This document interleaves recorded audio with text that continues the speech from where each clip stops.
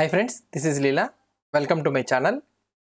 In the previous video, we have seen about the design and the setup of the login and sign up page for the authentication we have seen, right? Now in this video, what we'll try to do is, we will try to set up the Vuex thing, Vuex authentication. So we will be using for authentication Vuex state management. So as we have learned in the previous videos, so we have learned the Vuex state management, right? So we will use the Vuex state management here for performing the authentication thing.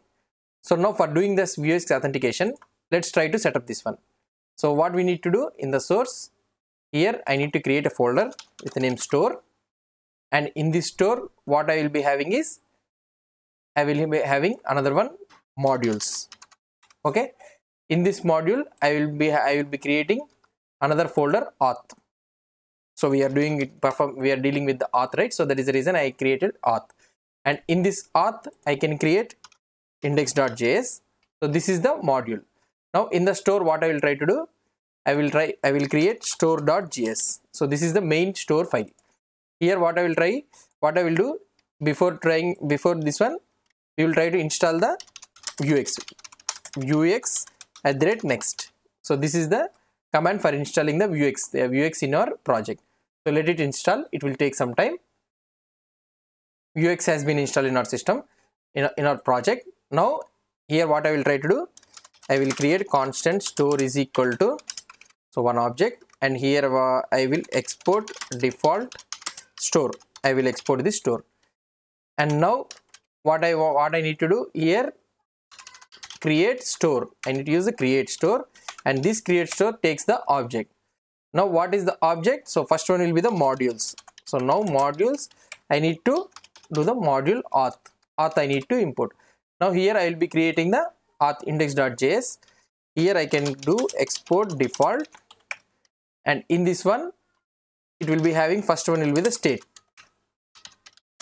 Return state like this return thing. And we will be having the mutations and getters getters. And also another one will be the actions. So these are the three things you will be having some projects what they will try to do is they will try to create here mutations.js okay and here another one getters.js and last one is actions.js actions.js and here in this one what we can do these getters will have export. Right now we don't have anything so export default it's an object and in this one mutations also export default and this one is also an object. And another one is the actions. Actions also export default and this is an object. So these are plain objects for right now. So here what i can do these all mutations. It will extend the mutations. I can remove this one all. So this one will be imported from those files. Here what i can do import mutations from mutations. Okay dot mutations. In the same scenario what i can do? Import actions from actions. So this is this one is also one of the actions. And here another one is import getters right? Getters from getters. So these are the three files we have imported. So you can write directly here. If the name and the file name is same means so you can if uh, name means you can write like this. If they are different means we can write like this also so if both the key and value are same means we can remove this value and we can directly place it like this. Okay? So these are the three things we have imported. Now let's go to the index.js for index.js we have this one right? So now here i can write name is equal to state leela or something like this. I have i have created one variable. Now what we need to do we can we can namespace this one. Namespace is equal to true. So that these things will be namespaced we, these all things will be namespaces. Namespaced. Okay? Now in the store.js what we are what we can do is we have imported the module auth. So now if i go here if i want to import what i need to do here import auth from so where it will contain? In the modules slash auth slash index. We need to import the index.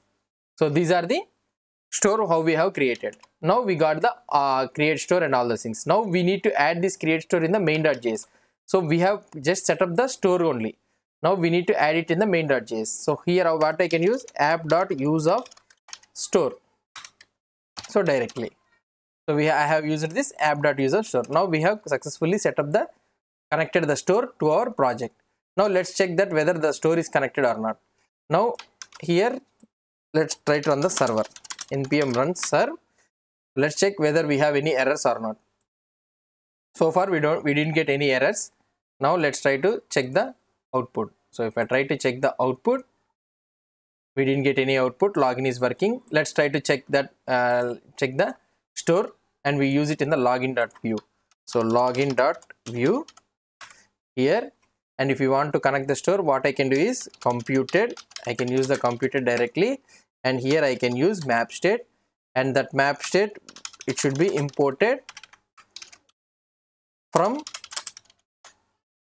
vuex right? So this should be imported. And i need to get the state right? Map state. I can use this map state. And here i can add map state. Okay first one will be the namespace. And next one will be the object right? Now what is the uh, first uh, thing what we are having here.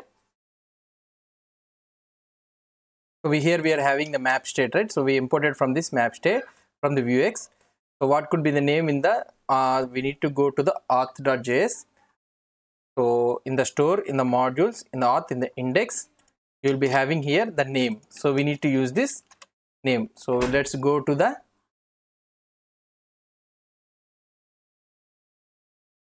let's use this name now go to the login.vue here the name the name the name will be the module name auth and here we need to use the name. So whatever the name you want you can use it here.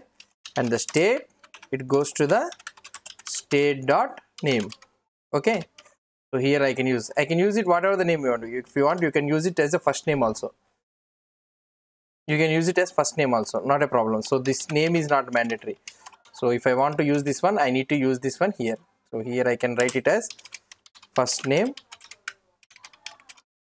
so here let's try to check the output now here I am able to get the state leela So that means the state we have been successfully connected. Okay, now the mapper parameter must be either an array or an object it is saying. Okay, so what is the problem? So let's check in the vuex thing. So if I refresh this one, we are not getting any error. So not a problem. So hope is not a problem. So path means uh, for the home page we didn't given the path. So that means we can we can assume it we can write it like this. So map state auth first name we got it right? So now if i try to refresh this one so we are able to go to the login. Okay i am able to go to the login and i am able to get the data here. State leela. So this is how we, we have successfully connected this one. So if i go here and index it and if i change it to only leela okay so if i change it to leela web dev let's try to check once again so now here I am able to get the Leela web dev. So this is how we will be uh, connecting the store to the project. Okay. In the next video, we will try to do the login authentication thing and we will try to save the data in the vuex state management. Okay. If you have any doubts or any suggestions, please post the comments below to this video. And if you like this video, please do support me by subscribing to my channel. Thank you.